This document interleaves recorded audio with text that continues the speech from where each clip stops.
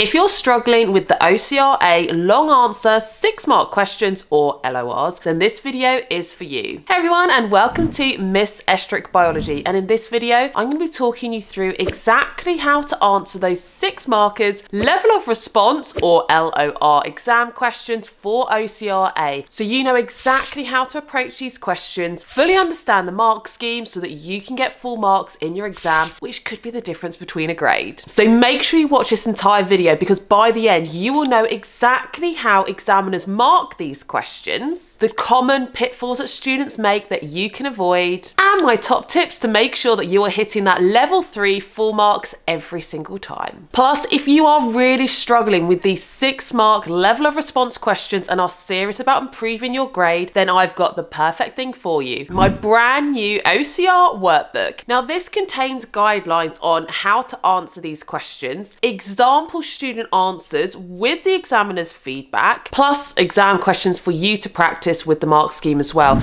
And the best bit, this has been created by one of my teacher friends who is an OCR teacher and an OCR examiner. I've worked with her on this, checked it, and we are both so happy with the final product and we know it's going to help you to improve. So if you are keen to get your hands on this, it's linked in the description below. But for now, let's get into today's video. So let's start at the beginning. What actually are level of response questions? So these are different to the standard other questions on the paper where you get one mark for one particular point you say. And that's because these are marked holistically. So the entire answer is considered and then your answer has to be determined which of the levels does it best fit into. So rather ticking as you go saying this sentence is worth a mark, instead they have to read the entire answer and determine the overall quality, depth and clarity of your response. Now you can easily work out in the exam when it is a level of response question because the questions will always have an asterisk, which is this star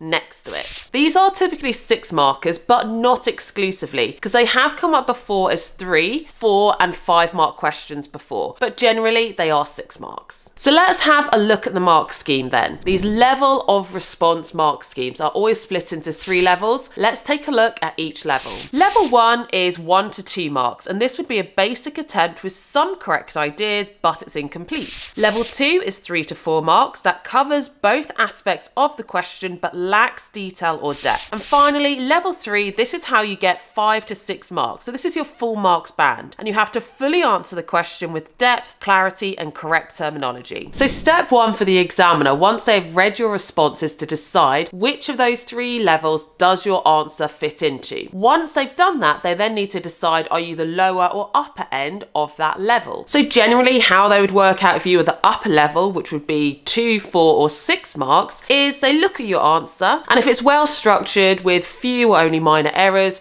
you'll get the upper end of that level. However, if your answer is more unclear or less structured, you'll get the lower end of each level, which would be either one mark, three marks, or five marks. So let's go through understanding the mark scheme in more detail so that you are able to get these top marks.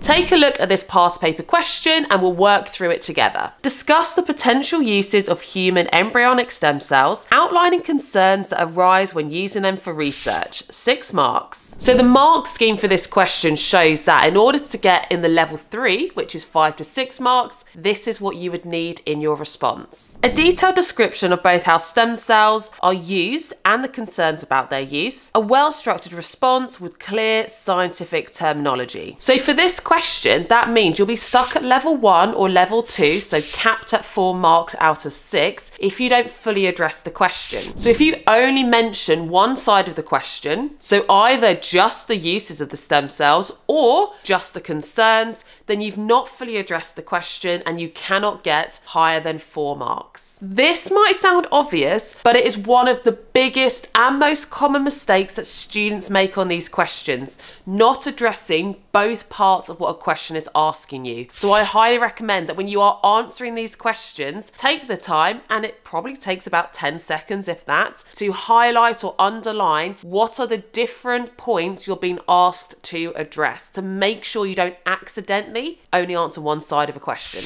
So let's go through how you would structure your answer for a question like this. The best way to get full marks is to use a clear and logical approach, and that's exactly what I'm going to share with you so that you can use it every single time to get full marks. Number one, start with an introduction, which should be about one sentence. This will be to define key terms if that is appropriate for the question. Number two is the main body of your answer. This is usually four to five sentences. And at this point, you need to address both parts of the question in a structured way. And finally, it's the conclusion. This would be one sentence if it's relevant to actually have a conclusion for the question that you've been given.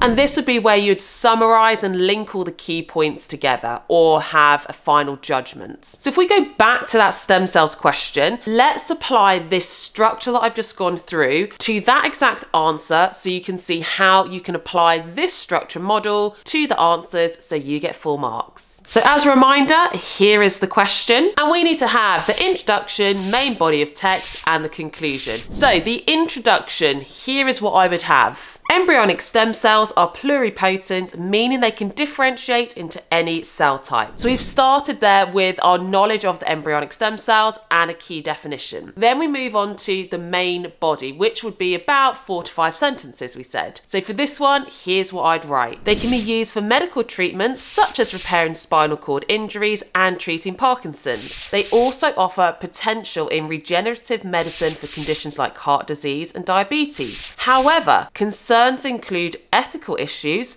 such as the destruction of embryos, religious objections, and the risk of immune rejections. So within that main body, we have addressed both parts of the question. We've gone through what are some of the uses and we've addressed what are some of the concerns. And we've done it in a structured way by talking through the uses and then we've got our counterpoint. Here are the concerns. So finally then, our conclusion, which will be about one sentence, here's what you could say. While embryonic stem cells have significant medical potential, ethical considerations must be considered. And there we go, that would get you six marks. So notice how that response is quite concise, and that is what examiners love. Addressing the question, getting to the point in a structured, clear way with no waffle. That is the key. So the last little thing I want to go through is common mistakes that you need to be avoiding to get full marks. Number one is only answering half the question. So for example, that stem cell question said uses and concerns. A lot of the time, the question does have two elements to address you have to address both elements to get full marks. Number two is writing too much irrelevant information. Examiners do not like waffle, you need to stay focused because to get the full marks, it did say that you need to have clear structured answers. And if you start to waffle saying everything you possibly know about the topic, it's no longer focused or clear. Number three is poor organization. If your answer is all over the place with scattered ideas, that starts to make it really unfocused unfocused and unclear, and that means you're going to be detracting from the marks that you could possibly get. So follow that structure that I talked you through the introduction, main body, and conclusion to help make sure you do have a well organized answer. And number four common mistake is actually linked to your knowledge. So in order to improve, that's linked to revision, but that's misusing key terms or giving incorrect terms. So examples of that might be if it was a question where it'd be relevant to talk about the mass, but instead you said weight. Or if you incorrectly said energy is produced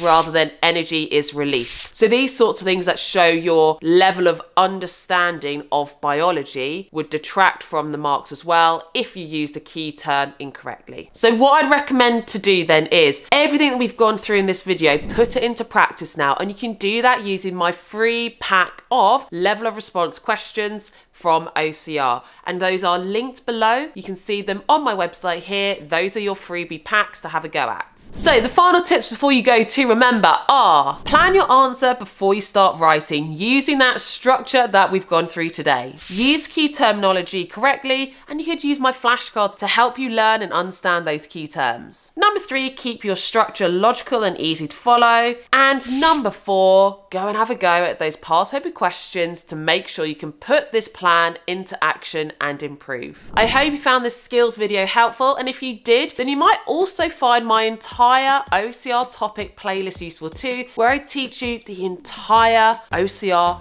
A-level which is linked here for you to go and have a look. But that's it for today. Hopefully I'll see you next week.